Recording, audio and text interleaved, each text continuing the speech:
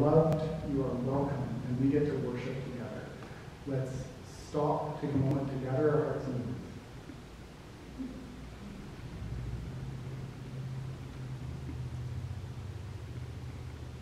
And let's now uh, join in our Advent liturgy. In this season of Advent, we celebrate God's love. Soon we will welcome the beautiful and radical love as Jesus Christ comes to live among us.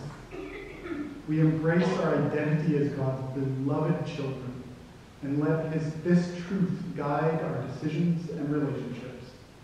In our homes and in our church, we offer hospitality, welcoming those we don't know, those who are in need, and those who are different from us.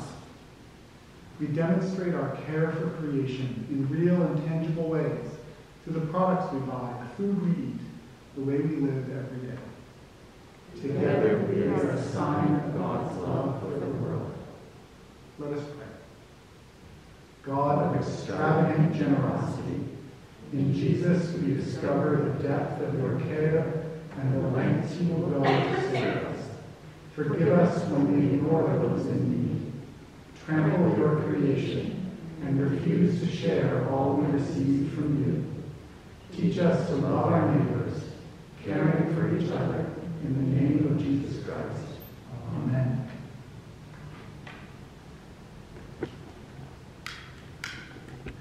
Light the candle of love.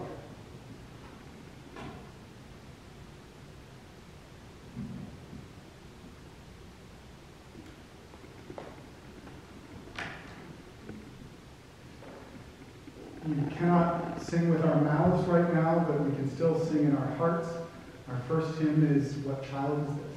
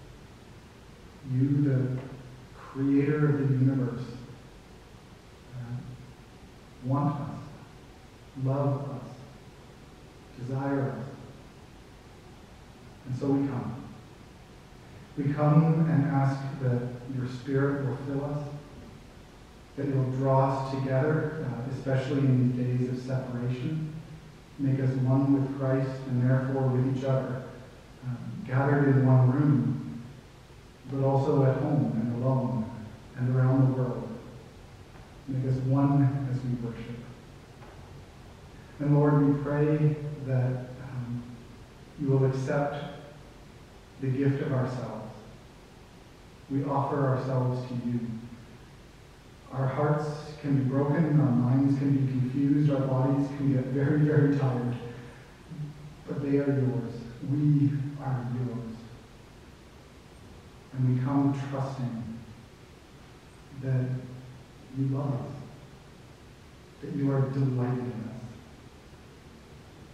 And Lord, knowing your delight, not with fear, but with hope, we dare to confess our sins. Because we do come to worship as broken people. In the things we've said and the things we've left unsaid. We've hurt others. We've grieved your heart. In what we've done and left undone, we have sinned. And we are sorry. Set us free and make us new. Come and send your Spirit in power. Um, for the first time or once more for the thousandth time and draw us close and make, may we be like Jesus. Thank you for the gift of yourself in your Son. And now together we share the prayer that he taught us to pray, saying, Our Father in heaven, hallowed be your name. Your kingdom come, your will be done, on earth as in heaven. Give us today our daily bread. Forgive us our sins as we forgive those who sin against us. Save us from the time of trial and deliver us from evil. For the kingdom, the power, and the glory are yours, now and forever. Amen.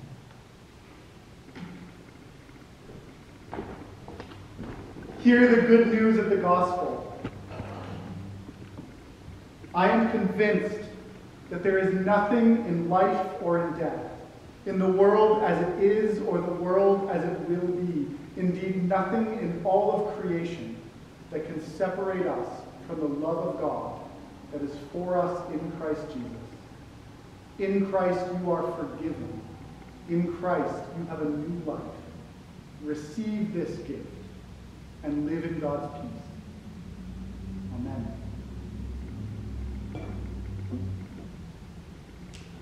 We are blessed by God's forgiveness, and that makes us a blessing to each other. Please turn to your neighbor and share the words, The love of Christ be with you.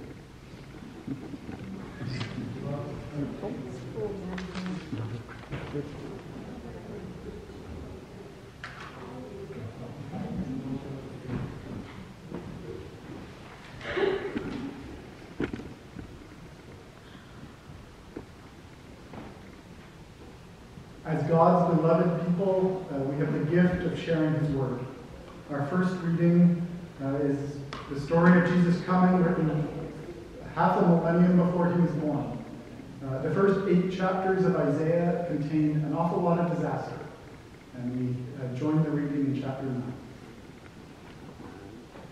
Nevertheless, that time of darkness and despair will not go on forever. The land of Zebulun and Naphtali will be humbled, but there will be a time in the future when Galilee of the Gentiles, which lies along the road that runs between the Jordan and the sea, will be filled with glory. The people who walk in darkness will see a great light. For those who live in a land of deep darkness, a light will shine. You will enlarge the nation of Israel, and its people will rejoice They will rejoice before you as, as people rejoice at the harvest, and like warriors dividing their plunder. For you will break the yoke of their slavery and lift the heavy burden from their shoulders. You'll break the oppressor's rod, just as you did when you destroyed the army of Midian. The boots of the warrior and uniforms bloodstained by war will all be burned. They'll be fuel for the fire.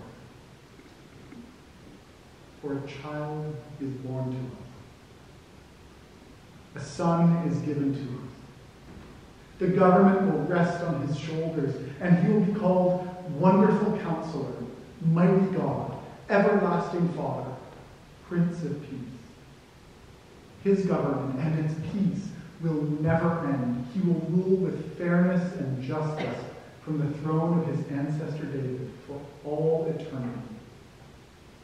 Passionate commitment of the Lord of heaven's armies will make this happen. Amen. And our second reading this morning comes from Luke chapter 1, starting at verse 26. Uh, we've just had the angel Gabriel promise uh, a son to the elderly Zechariah and Elizabeth, and now we uh, join the story for his second visit. In the sixth month of Elizabeth's pregnancy, God sent the angel Gabriel to Nazareth, a village in Galilee, to a virgin named Mary. She was engaged to be married to a man named Joseph, a descendant of King David. Gabriel appeared to her and said, Greetings, favored woman, the Lord is with you. Confused and disturbed, Mary tried to think what the angel could mean. Don't be afraid, Mary, the angel told her, for you have found favor with God. You will conceive and give birth to a son, and you will name him Jesus. He will be very great and will be called the Son of the Most High. The Lord God will give him the throne of his ancestor David, and he will reign over Israel forever. His kingdom will never end. Mary asked the angel, But how can this happen? I'm a virgin. The angel replied, The Holy Spirit will come upon you, and the power of the Most High will overshadow you. So the baby to be born will be holy, and he will be called the Son of God. What's more, your relative Elizabeth has become pregnant in her old age. People used to say she was barren, but she has conceived a son and is now in her sixth month. For the word of God will never fail. Mary responded, I am the Lord's servant. May everything you have said about me come true. And then the angel left her. This is the word of the Lord. Thanks be to God. Let's pray. Come, Holy Spirit, and bless these words we've read with power. Bless us to be changed by them. Help me to preach with uh, power and love and truth. And may your word uh, move in us all. In Jesus' name, amen.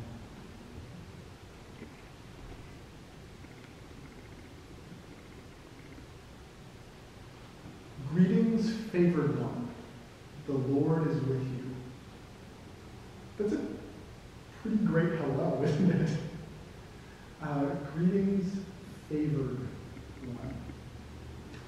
Do you know that experience of being someone's favorite? Um, of, of knowing that like someone's just so delighted to see you and you make them really happy? Uh, you know what that feels like? I know we have favorites of all kinds of things. We have favorite we have favorite foods, we have favorite traditions, favorite places. I'm, I'm talking about relationships right now. You know what it feels like to be a favorite, to be special to someone? Now, there are some people who really have a gift of making everyone feel like they're a favorite.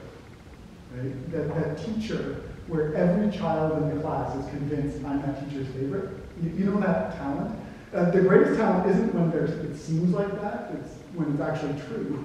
Whoever is in front of them is, is the favorite. But um, being favored feels great. And that's what uh, God's messenger says to this young girl from a backwater town that no one's ever heard of. Um, Nazareth doesn't matter. Mary is not anybody important. Except now when Nazareth really matters, and now Mary is someone important. Because God gives her favor. Hey Mary, you're God's favorite. Imagine if an angel popped into your house and said that to you. Uh, the word favored, by the way, um, literally in Greek, should I apologize when I go to Greek or should I just roll with it? Just roll with it, okay. In Greek, it actually has the word grace inside of it. Sometimes this is translated as, well, it's a common uh, Roman Catholic prayer, Hail Mary, full of grace. That's what it means to be favored, to have grace, the gift of God's love in you.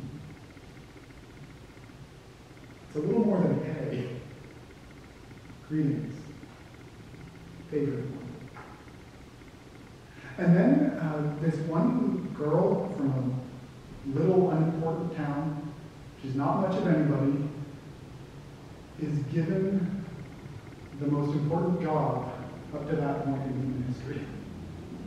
She's given a role unique in the history of salvation, in the history of God and his people. Um, first, she's told, don't be afraid, which, little aside, the word angel just means messenger. It's not a type of being, it's a job. Um, and in this case, a heavenly being is sent with the job of being an angel. And he has to say, don't be afraid. Angels always have to say that in the Bible. You know, the little fat kids with wings, I don't think are the right picture of angels, because they would not have to say, don't be afraid, every time they have a message. Um, don't be afraid. God's got a job for you. And he tells Mary that she's going to become pregnant, even though she's a virgin, and that this child will be God's son. It's a miracle. I mean, the, the physical miracle is there, right? There's the, the virgin birth.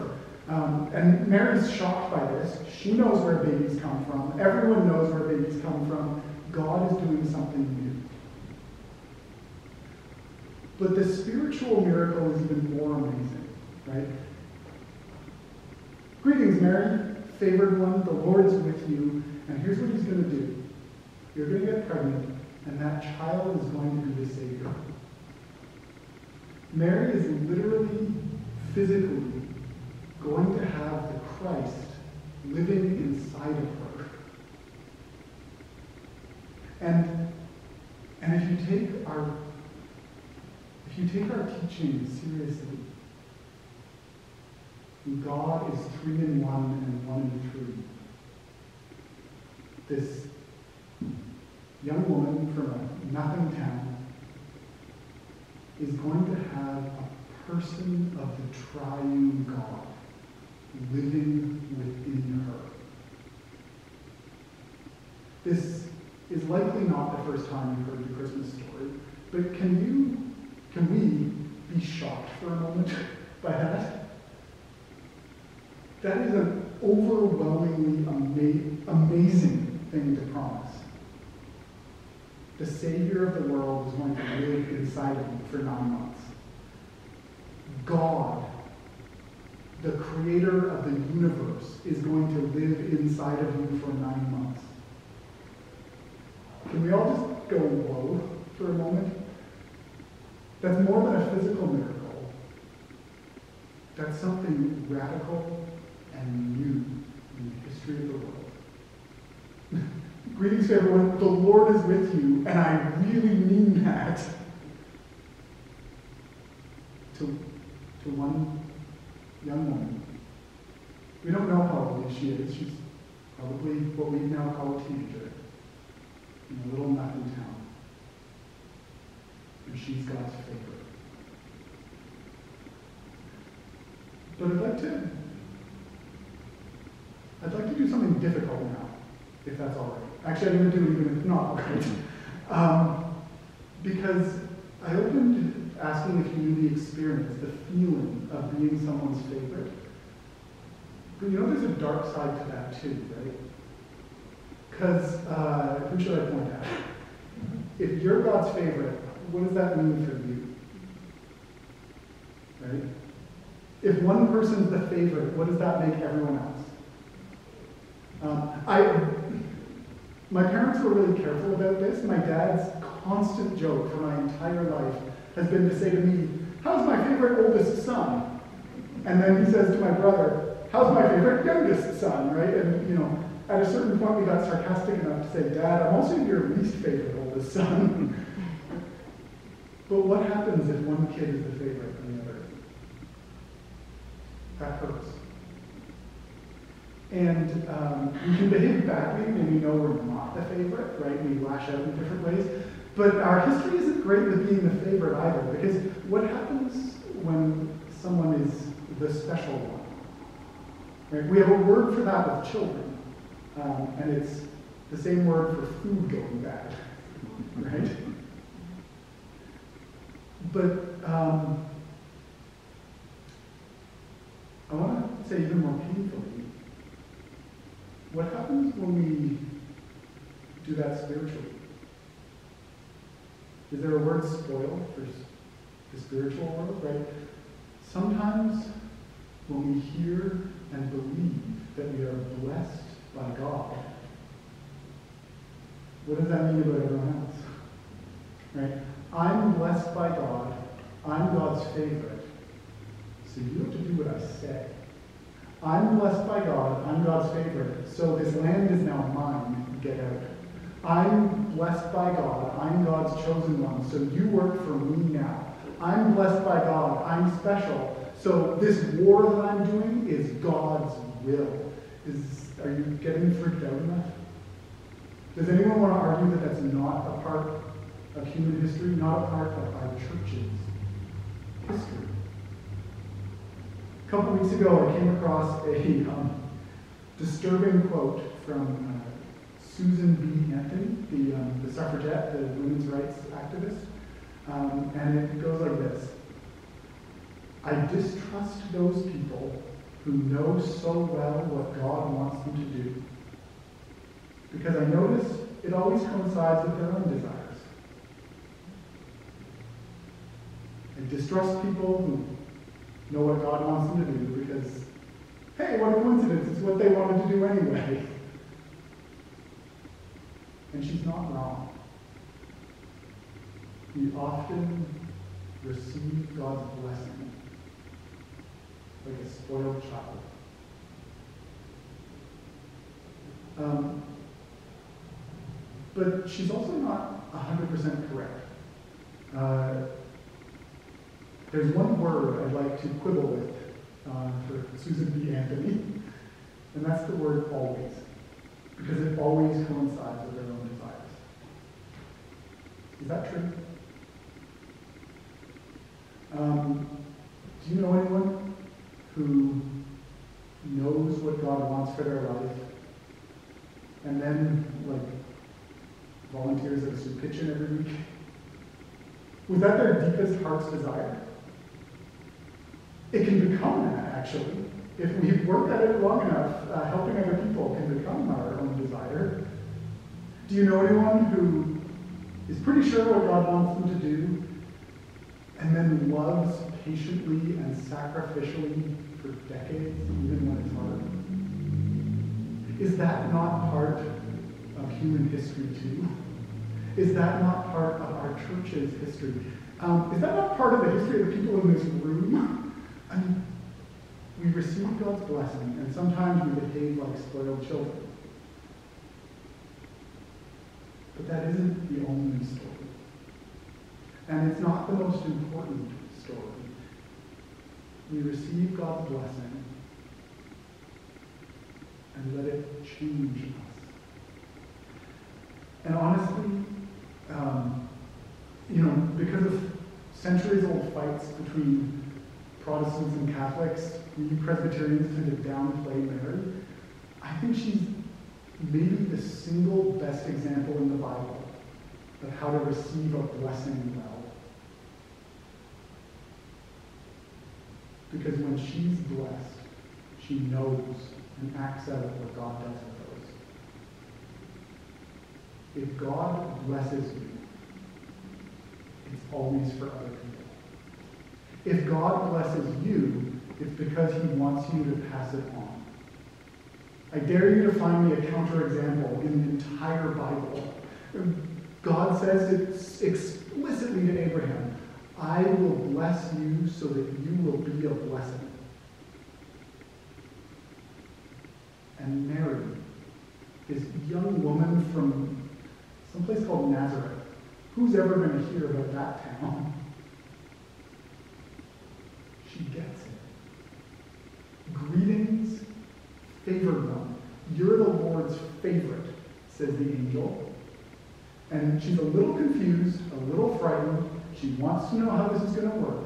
But she ends with, I am the Lord's servant. Literally, slave. Let it happen to me as God wants. And I, I stopped reading before the next story. Mary, after this news, goes and visits that elderly pregnant cousin of hers, uh, Elizabeth, and the two women are like bouncing up and down with joy. The baby is bouncing up and down. Um, and Mary sings this song of triumph and praise. And it starts with Praise the Lord because he saved his people. And he looked on his lowly servant girl and took notice of me. And from now on, all generations will call me blessed. Mary says, Yeah, I'm nobody. Except that God decided not. God blessed this one girl to be a blessing. And she knows it and lives it out. It's one miracle, the virgin birth, 2,000 years ago. But look what it's done since then. God blesses one girl and says, greeting, uh, sends an angel to say, greetings, favorite one. You're my favorite, God is with you. And she gives birth to the Savior. She gives birth to the Word of God made flesh, who lives among us full of grace and truth, who dies for us, who's raised for us, who gives the Holy Spirit to us. In other words, a blessing to one young woman becomes a blessing to everyone.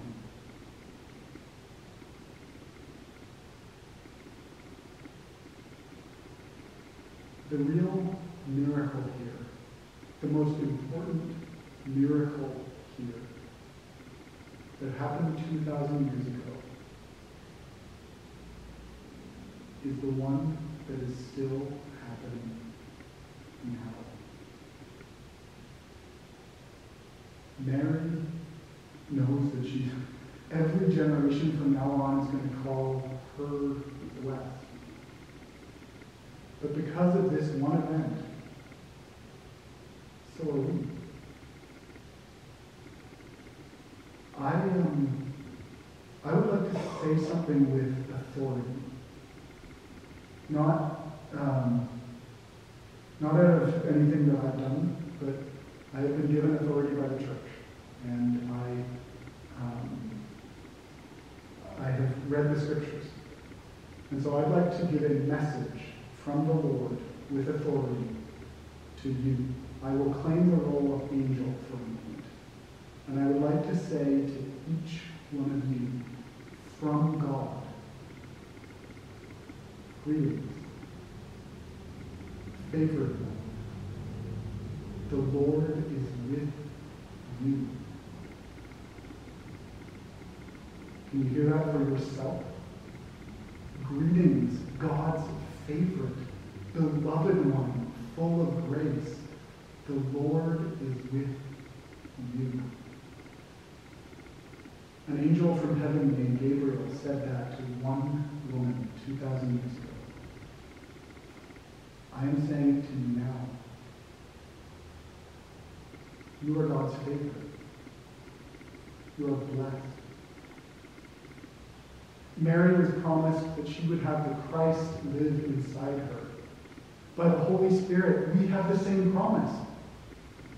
You carry Jesus Christ in you a person of the triune God who created the universe lives in you. Greetings, favored one, the Lord is with you. And you will carry the Lord wherever you go. You are blessed. Pass it on.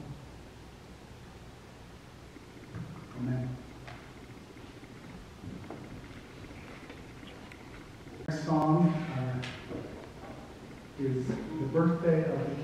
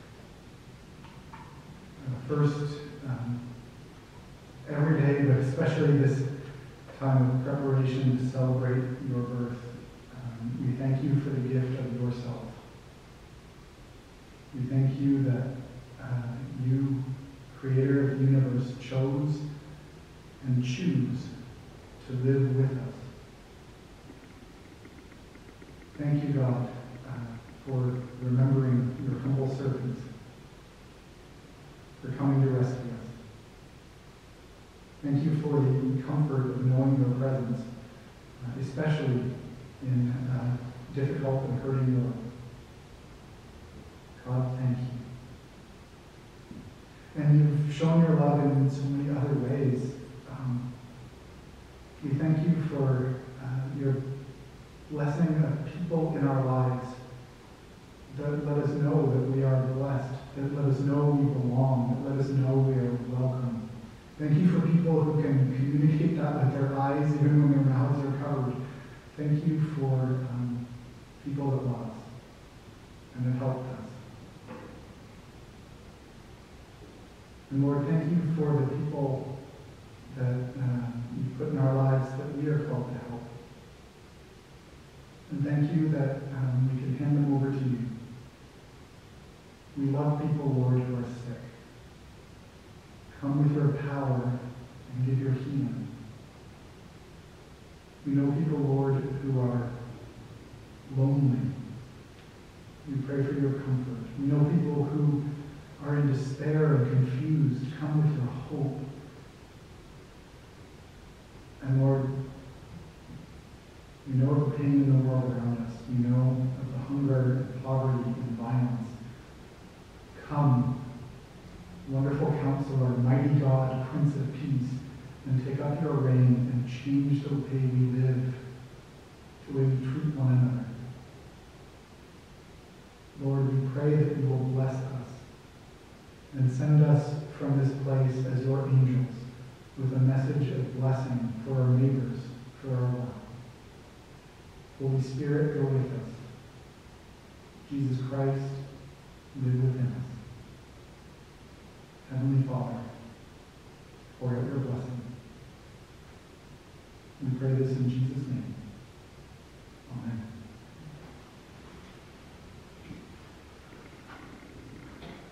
Our closing hymn is one of joy. The Christians all rejoice. Good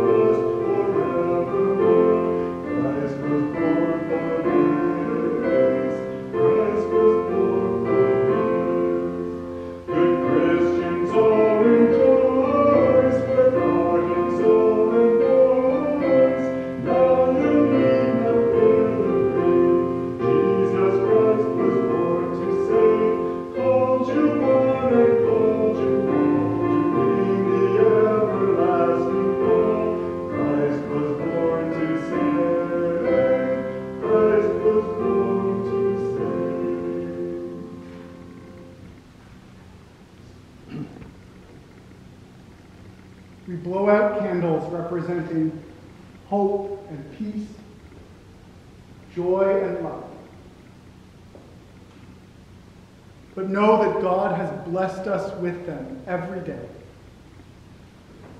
Go in peace, and may the grace of our Lord Jesus Christ, the love of God, and the communion of the Holy Spirit be with you all, now and forever.